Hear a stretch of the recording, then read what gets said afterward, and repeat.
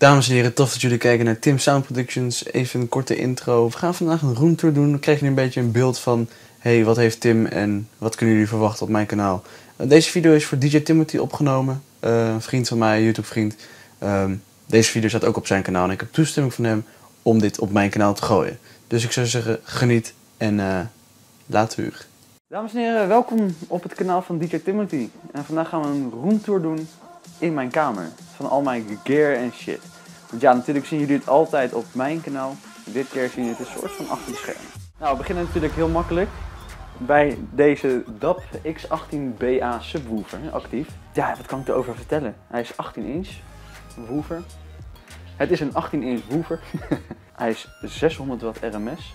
Um, er zit een versterker ingebouwd. En um, ja, het zijn echt geweldige subs. Ze gaan ongelooflijk hard.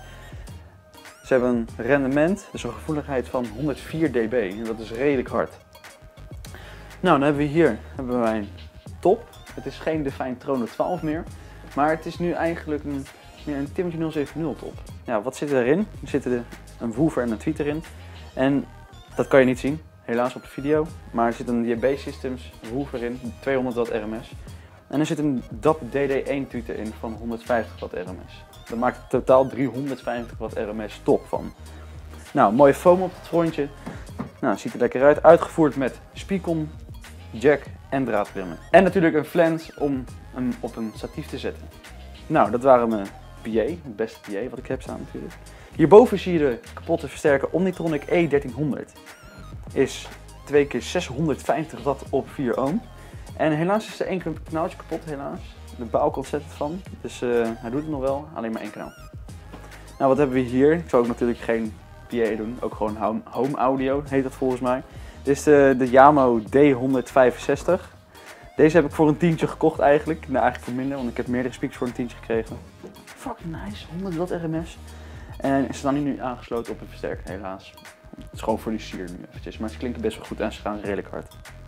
Nou, dan hebben we hier de half kapotte Bringer Zenix 1622 USB mixer. Uh, 8 kanaals, 4 microfoonkanalen en 4 stereo ingangen. Um, ja, wat doe ik ermee? Heel simpelweg uh, een microfoontje voor FL Studio of uh, gewoon lekker muziek luisteren. Gebruik ik gewoon als externe geluidskaart voor mijn computer. Um, wat hebben we hier nog meer? Natuurlijk dezelfde kant weer. Um, ja, ja, het duurste, bijna het duurste van alles is natuurlijk... Wop. Akoestische gordijnachtig iets. Natuurlijk mijn versterker. Rek. Mijn versterkerrek. Nou, wat zit hierin? Er zit hier een uh, Bringer twee kanaals 15 bands equalizer erin. Um, maar ja, dan kan ik gewoon heel mijn PA gewoon, kan gewoon uh, EQ'en. En daaronder zit een crossover, ook van Bringer. Twee weg stereo. En dat zorgt ervoor dat het goed klinkt, dat er geen bas naar mijn toppen gaat. En alleen bas naar mijn subs. En daaronder zit een aansluitpaneel met Powercon, vier speakons en twee XLR ingangen. Nou, ik heb natuurlijk uh, maar twee topjes en de subs zijn actief, dus ik gebruik nu twee speakon outputs. Daaronder zit de QSC GX3, mijn nieuwste speeltje in het hele PA gebeuren hier zo. Tering, wat een versterker. Echt niet normaal. Ik zal hem even aanzetten. Kijk mee zou ik zeggen. Equalizer, crossover en versterker. En hij staat aan. Super vet. Hij is best wel stil. Hij weegt ook heel weinig, maar 12 kilo volgens mij. Is um, uit mijn hoofd 300 watt op RMS op 8 ohm volgens mij. En op 4 ohm rond 450 watt RMS. Super vette versterker. Het is wel een budget van QSC. Maar het vermogen wat eruit komt is niet normaal. Nou, daaronder hebben we nog de 100% werkende Omnitronic E600. Um, 2 keer 200 watt op 8 ohm, 2 keer 300 watt op 4 ohm. En daar op zich een leuk versterkertje. En de QSC versterker die gaat door de crossover. En de Omnitronic versterker die gaat niet door de crossover, wel door de EQ. Dus uh, daar kan ik gewoon mijn toppen full range draaien. Dat is eigenlijk in principe bijna het duurste rekje of het spul wat er uh, in mijn PA set is eigenlijk. Nou, hier heb ik een uh, crappy flight case voor mijn mixer. Die, als ik naar een gig ga, neemt hij gewoon mee, zit hij gewoon veilig in, zeg maar. Ik maak natuurlijk ook uh, zelf uh, speakerkasten. Dit is er eentje van, dit is mijn uh, bijna slechtste project ever. Er zitten twee vintage woofers in, klinken niet goed. Er zit een goede tweet erin, daarentegen. Afge, afgeplakt met duct tape, of nou ja, gaffa tape. Waarom? Om het goed luchtdicht te maken. Is op zich wel een leuk, leuk kastje. Nou, we gaan nu naar mijn home audio eigenlijk. En dat is weer een hele andere kant. Dat heb ik echt gesplitst in mijn kamer. En hebben we hier als allereerste de Yamo Graduate One, denk ik, speaker. 50 watt RMS. En deze heb ik ook voor dat ene tientje gekregen. Nou, ze zijn niet helemaal origineel meer. Ik heb de nieuwe tweeters ingezet. We halen het frontje er even af als dat lukt. Kijk, ik heb de nieuwe tweeters ingezet. Waarom? Omdat die vorige tweeters echt poep waren. Die waren niet lekker, kwam geen hoog uit. Dus vandaar dat het, het rare vierkantje erop zit. Die gebruik ik voor mijn 5.1 uh, op mijn tv in mijn kamer. Lekker chill, lekker filmpje kijken en zo. Naar uh, Timo's kanaal kijken bijvoorbeeld. Gewoon een surround sound. Fucking vet. Hier heb ik uh, onder mijn tv als center Yamo Compact 70 staan. Die staan in serie aangesloten. Dat betekent dat ze 100, nou ja, moet ik even goed zeggen, 140 watt RMS aan kunnen. Ze krijgen maar 50 watt RMS aangestuurd, maar dat maakt niet uit. Gaat redelijk hard, klinkt ook heel goed. Aan de andere kant staat natuurlijk weer een Yamo Graduate speaker. Maar daaronder zie je natuurlijk een dikke subwooferkast. Dat is een dikke subwooferkast die ik ook zelf heb gemaakt. Er zit geen basport in. Um, heel veel dampingmateriaal. Dat is zo strak klinkt. Echt fucking nice. Ja, en um, wat heb ik hier nog allemaal staan? Ik heb hier een Pioneer Equalizer staan. Dat is, jawel, voor mij 7 band. Nou, dit gebruik ik gewoon voor mijn 5.1. En uh, ja, wat heb ik nog meer? Ik heb hier een oude plaatspeler staan.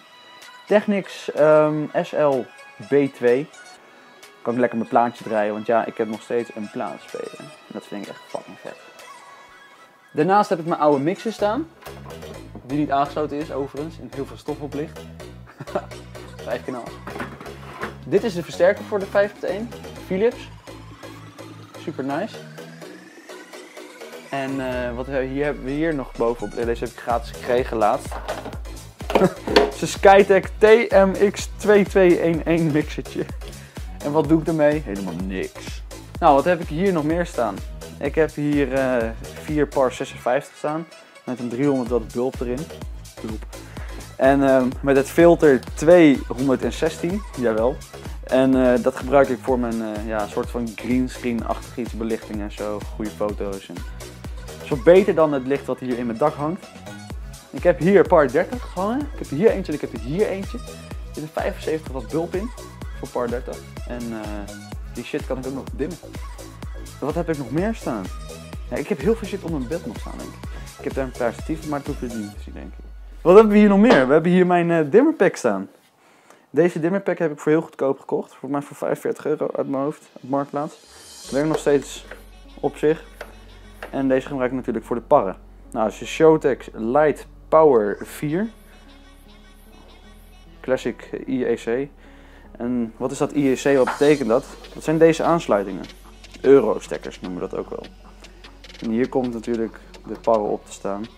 Dit zijn multi-uitgangen, maar die gebruik ik niet. Daar heb ik de bekabeling voor. Nou, wat hebben we hier nog meer staan? Een hele, hele oude versterker. Die komt voor mij ook uit de jaren 80, maar die werkt nog echt perfect. Dit is de Technics SU600. 2 keer 50 watt op uh, 4 ohm. En een mooi versterkertje. Gebruik ik voor uh, ja, bijvoorbeeld die Yamo speakers die er staan. Wat hebben we nog meer? Wat hebben we nog meer? Ja, we hebben hier nog een oude kast staan. Ja, een oude kast. Die hebben we ook in een andere video gezien bij DJ Timothy. En dat is deze kast. Daar zit in mijn auto de Pioneer in. Maar nu zit er een oude Trono-woofer in. En die zijn op Marktplaats overigens. Wat hebben we nog meer? Wat hebben we nog meer? Oh ja, we hebben hier zo. Dit is een beetje een rommelkast eigenlijk. We hebben hier de Eurolight N19 staan. Dat is mijn oude rookmachine. En wij gaan zo meteen kijken of dit nog doet. Wil jij dat nou ook weten? Check dan een andere video op bezoek bij 5. Oké. We hebben hier mijn oude strobo. Uh, volgens mij 45 watt. Ik zal het licht een beetje uitdoen. En ik ga kijken of hij het nog doet überhaupt. Hij doet het. Ja, hij slaat zelfs over. super slecht. Super slecht dit. Hieronder staat mijn, uh, staat mijn laser natuurlijk. Ook te zien zometeen een op bezoek bij. Dat is de ITA 100 trouwens. Ehm, in dit doosje, want ik heb natuurlijk ook nieuwe speakers geplaatst in mijn deuren van mijn auto. En dat zijn deze speakers. Dit zit, zit, deze speakers zitten in de zijdeuren bij mij. Wat zit hier nou in? Dit zijn de oude Peugeot woofers. Fucking slecht, kwam geen hoog doorheen, ook geen laag. Dus die heb ik snel, de eerste dag dat ik mijn auto kreeg, heb ik die gelijk vervangen. Nou, wat hebben we hier nog meer? Plopkapje voor de microfoon. Een paar spiekonpluggen. Jan Willempies. We hebben hier ook nog wat filters liggen. En natuurlijk hebben we nog de oude Moonflower. Showtech Dazzle White Moonflower heet die volgens mij. Grappig dingetje, heeft me niet zoveel gekost volgens mij. Dus uh, het is nog steeds een leuk ding. Het staat trouwens ook op Marktplaats. Dus uh, als je interesse hebt mag je hem zeker kopen. Um, ene laatste. Deze heb ik uh, van een, een goede oude vriend van mij overgenomen. Dit is de LED Operator 4. En die gebruik ik om eigenlijk mijn ledparren aan te sturen. Maar die heb ik niet meer, want die heb ik gisteren verkocht. Helaas. Ik heb er nog twee liggen, maar die zijn een beetje half kapot. Nou, deze ga ik dus gebruiken om mijn laser aan te sturen en mijn stroboscoop. Nou, over stroboscoop gesproken. Ik heb hier mijn stroboscoop liggen. En dat is de American DJ SP1500. 1500 watt stroboscoop op DMX. En uh, die gaan jullie waarschijnlijk ook zien in de opbezoek bij video. Nou, voor de rest heb ik nog twee statieven hier zo staan. Eentje van KNM en eentje van DAP Audio. KNM, goede kwaliteit. Nou, dit was mijn roomtour. Ik hoop dat jullie hebben genoten van deze video. Ik hoop Timo ook. En um, ik zie jullie weer snel bij een nieuwe video op mijn kanaal. Hopelijk, maar ook natuurlijk een nieuwe video bij Timo. Vergeet niet te abonneren op zijn kanaal natuurlijk. En een blauwe duimpje omhoog te doen. En uh, wij checken jullie dan later.